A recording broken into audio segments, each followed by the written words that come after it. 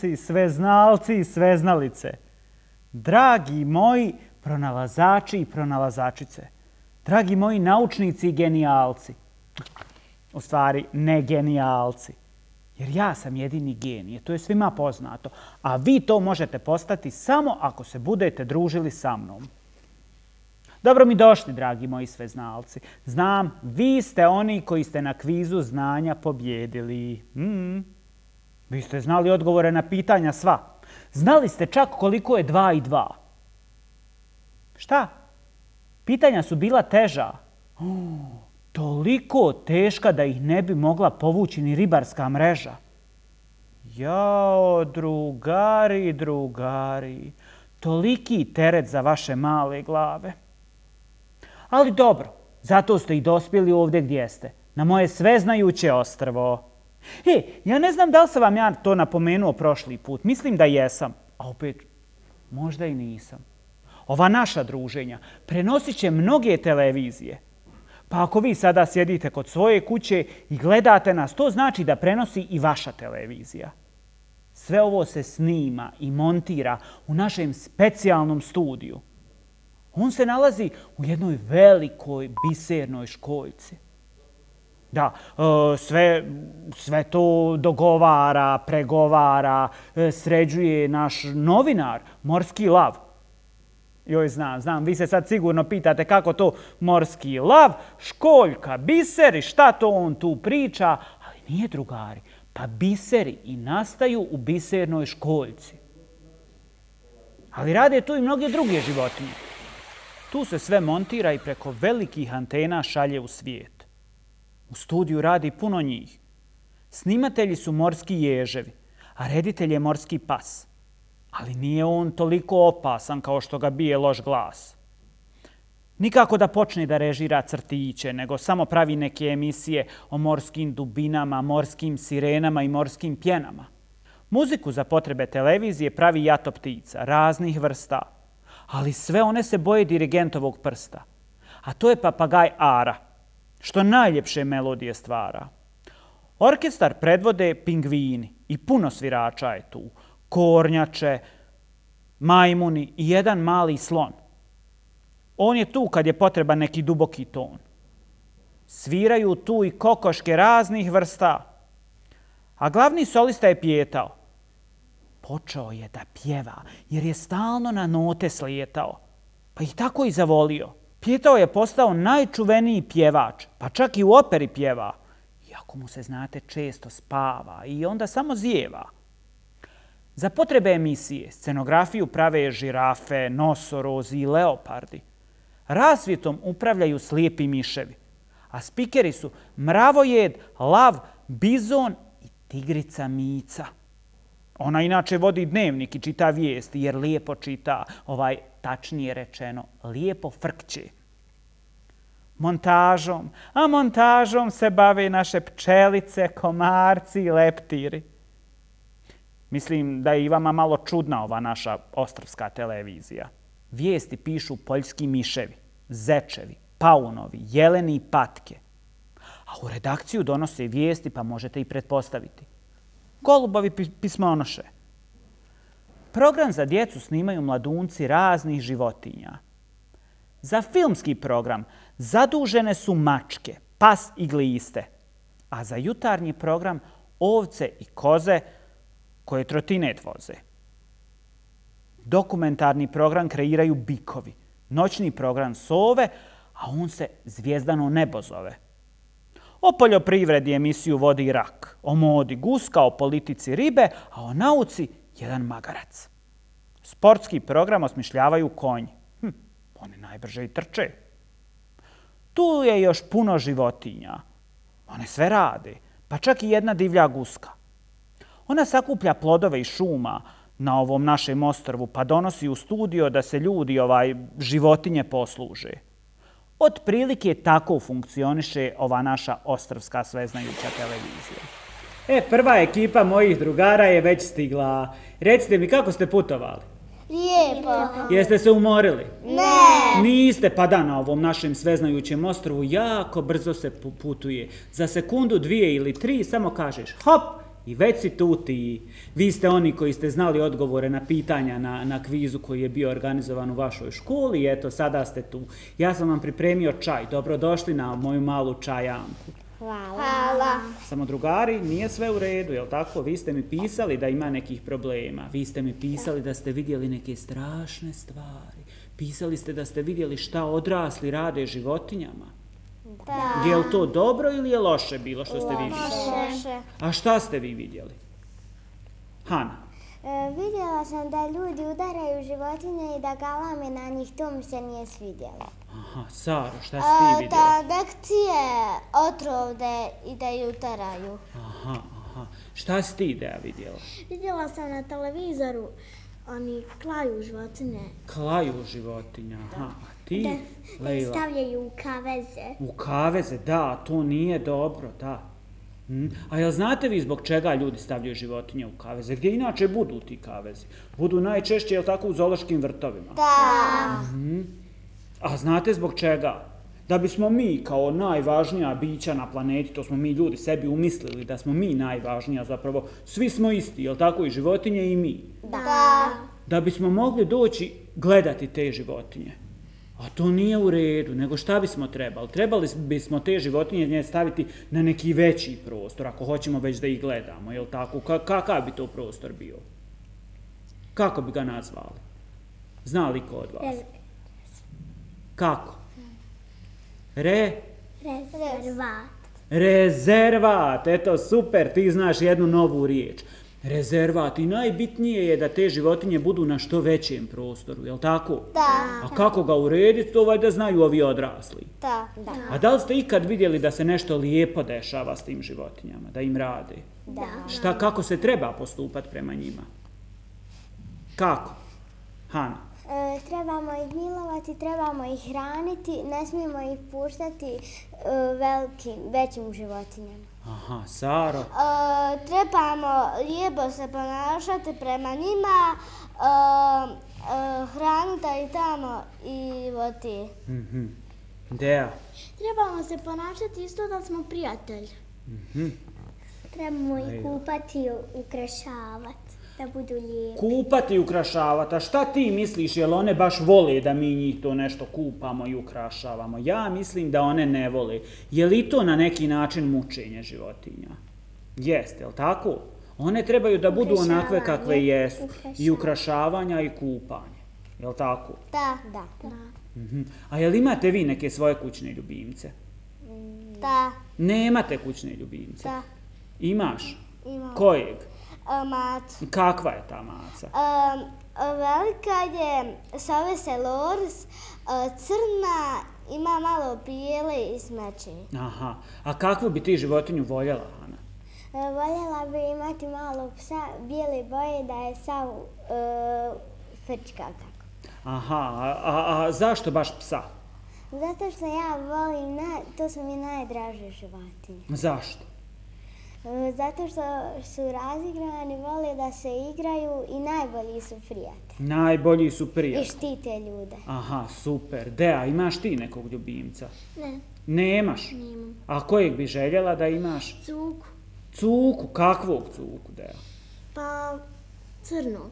Crnog, zašto baš cuku? Zato što ima fine oči i zato što baš onaj treba malo da ga počešlja. Mhm. A ti, Lejla? Ja nemam ljubimca. A kojeg bi voljela da imaš da Ribicu, imaš? Dvije ribice. Dvije ribice, kakve ribice? Jedna zlata, jedna malo crvena. Aha, aha, aha. A jel znate vi e, da, da, da sve te životinje neko liječi? I one se nekad razbole, jel Da, tako? Kako se zove taj, taj čovjek koji liječi životinje? Veterinar. Veterinar, super. A znate li kako se zove malo od, od, od konja, recimo? Ždrebe. Aha. A malo od, od, od, od mačke? Mačić. Mačići.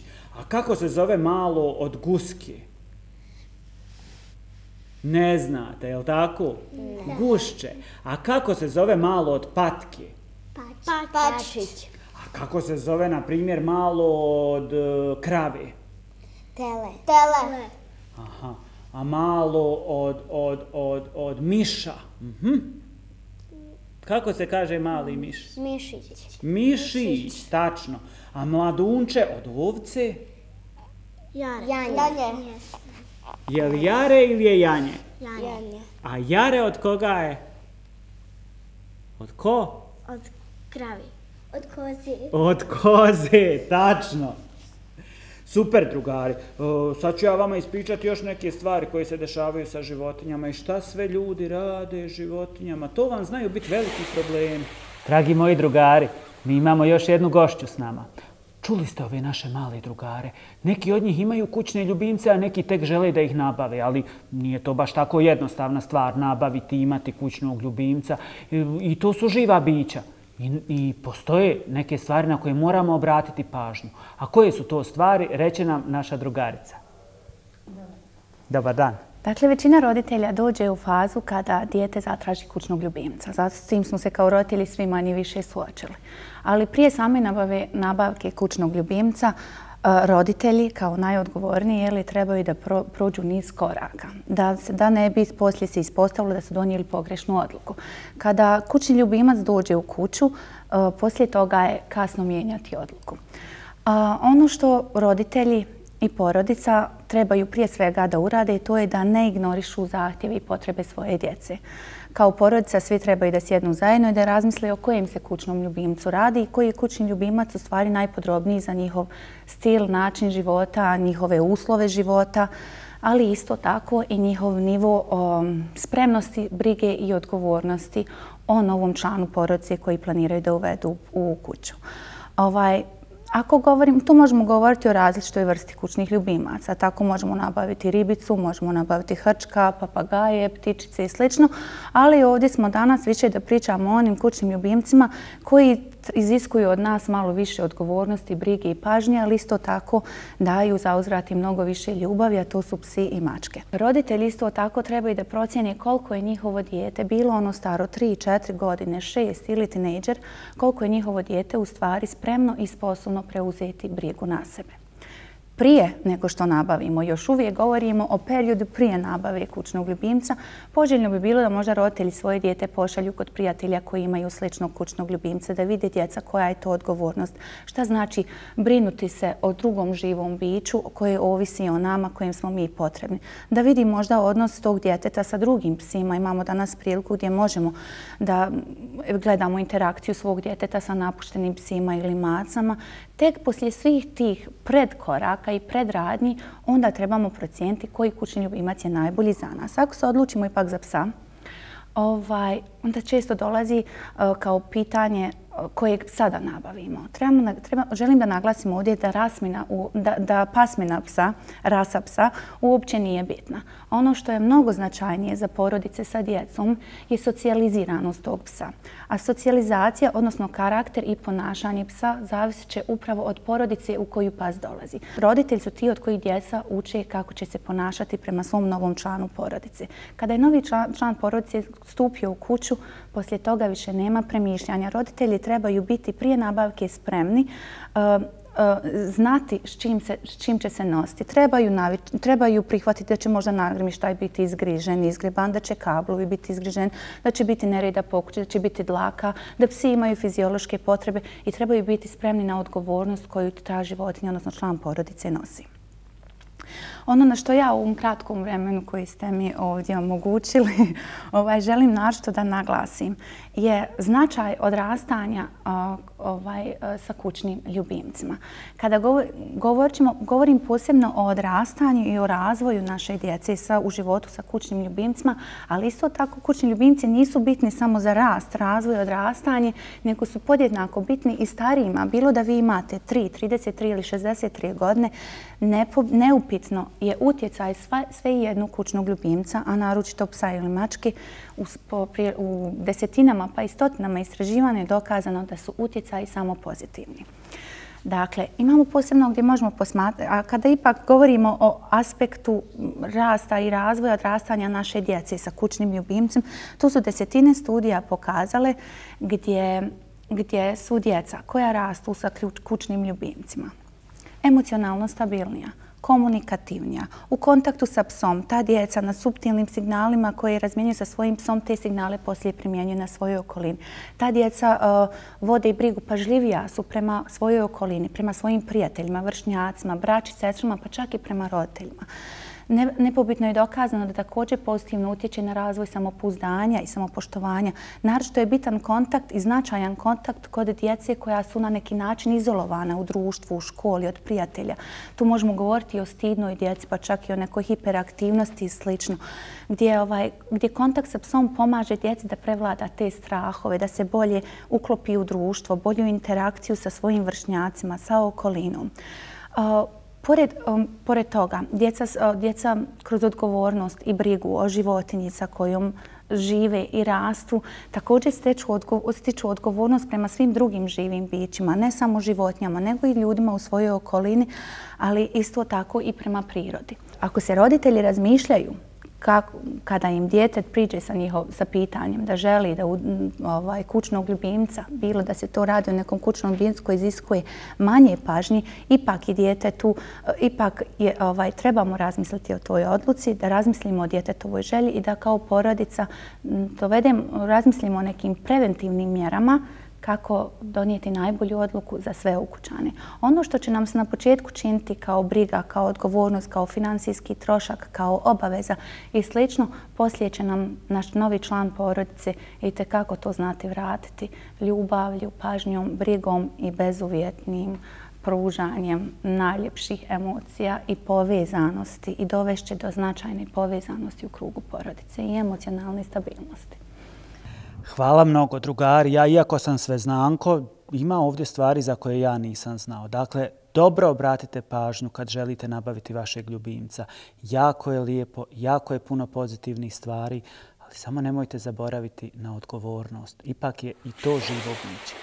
Uzmu ljudi da ih gnjave i dave, e, maze malo grublje, češljaju ih čak malo jače. Toliko je to da se tim njihovim životinjama čak i plače. Ili ih drže u stanu i daju neku čudnu hranu. A životinje, pa one bi samo slobodu htjele, žele prostranstva luda, žele da, da, da jedu sto čuda. Hmm? I znate šta još ima? Mi ne smijemo da ih zatvaramo, to im smeta. Mogu da se razljute i onda će ljudi da postanu metati njihovih ujeda i tog što oni rade. Ne smijemo ni da ih vezujemo, ne smijemo ni na lancu čak da ih držimo da, da, da, da, da kevću, da skaču, da, da, da skiče. Prekinimo takvu priču, oslobodimo ih uvijek kada čujemo da viču. A čovjek životinje muči. Muči ili muči? Muči umjesto da od njih toliko lijepih stvari nauči. A muči ih čovjek. Ma to su načini, ne znajem im broja. Vjerujte mi, djeco, velika su, velika su u tom pogledu iskustvama. Eto, i drugari su već otišli, riješili smo neka njihova pitanja, malo porazgovarali i mi idemo dalje. Bespomoćna živa stvorenja što nam planetu uljepšavaju i lijepe slike stvaraju. Čovjek goni, muči, protjeruje, ubija. Ljudska ruka, ona je za sve kriva. Onda protjerujemo ih iz njihovih staništa, iz jazbina, iz rupa i virova. Oni bježe pred naletom ljudskih stvorova. Mm. A na planeti ima mjesta za sve. I to koliko vam volja. I nigdje klima nije niti bolja, niti gora. Nego ljudska sujeta i sebični pogledi. Jer uvijek se misli tamo je tuđe bolje. Čak i ako životinje tu žive, pa čak i ako su rijetke vrste. Problema nema, tu je najlakša dilema. U stvari, i ni dileme nema. Životinja nikad nije ni bila, niti će biti sporna tema. Ako treba, začašćemo mi njih istrijebiti, protirati ili bilo šta drugo. Samo je to da se čovjek u udobnostima svojim ljuljuška dugo. A da ne pričam ja šta se sve od životinja pravi, šta sve ljudi od životinja prave ko da ne mogu i drugim prirodnim materijalima da se pozabave. Eto, na primjer, zar mora bunda da bude od zeca ili kune? Zar ne može da se isplete od, od, od, od ovčije vune? Ma ne mora tepih da bude od leopardove kože ili e, zebrinih leđa ili, ili, ili, ili e, medinog stomaka. Dajte, dajte da prestane čovjek više te životinje da vrijeđa. Neka im da njihovo mjesto, a oni će mu lijepim uzvratiti, samo lijepim.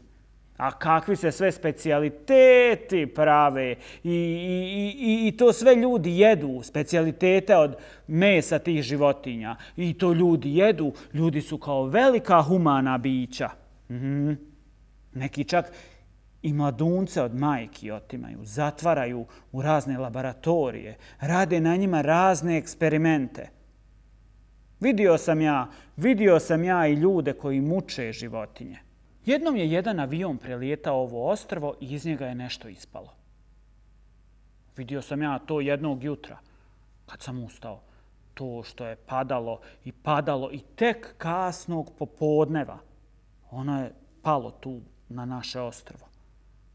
Ja sam mislio, mislio sam da je to prvo neka konzerva. Onda sam mislio da je to možda neki, neki stari laptop što se pokvario. Ja malo bolje pogledam, kad ono, kad ono, ma šta vi mislite šta? Hm? Kad ono sova, čovječe, mala sova. Čovjek je kupio u Indiji posebna vrsta. On i njegova žena se dogovorili da poklone sovu svom sinu za rođendan. E, sad dok je trajao taj let, ta sova je bila s čovjekom u avionu, žena, žena njegova uslika neku drugu sovu, pošalje mu sliku i na face i na mail kako bi trebala da izgleda sova koju oni žele da poklone svome sinu. I pošto je čovjek vidio da to nije ta sova, on uzme sovu i baci je iz aviona. I sova, hop, padne kod mene ovdje na ovo moje sveznajuće ostrvo. E, ali nije vam to obična sova. Ma jok, ova vam zna sva slova. Ova čak zna i da piše. I ako pogriješi, ona sve to gumicom izbriše. Ona je tamo u Indiji, odakle je ovaj čovjek ponio, bila učiteljica. Kad su ljudi počeli da cijeku šumu u kojoj je ona živjela, morala je da preseli školu dublje u šumu. I tako onda je živjela tamo. Međutim, jednog dana se sjeti da je zaboravila da ponese svoje diskove i lekcije iz srećologije. To vam je predmet koji izučava sreću. I šta će? Morala je da se vrati. I kako se vratila, tu su je i uhvatili. Hmm.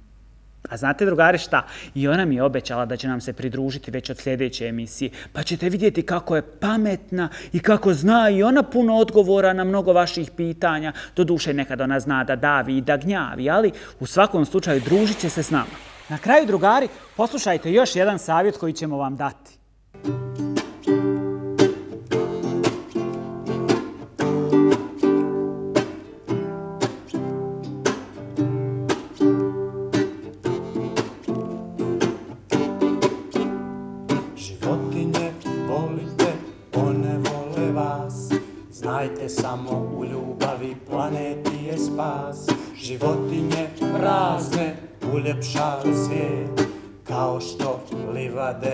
Ukrašava cvijet životinje trebamo da nam radost daju. Ptice, ribe, kornjače i psi što laju. Uf! domaće i divlje životinje razne bez njih su od srca pred komore prazne. Životinje volite one vole vas. Znajte samo u ljubavi planeti je spas. Životinje volite, one vole vas Znajte samo u ljubavi planeti je spas.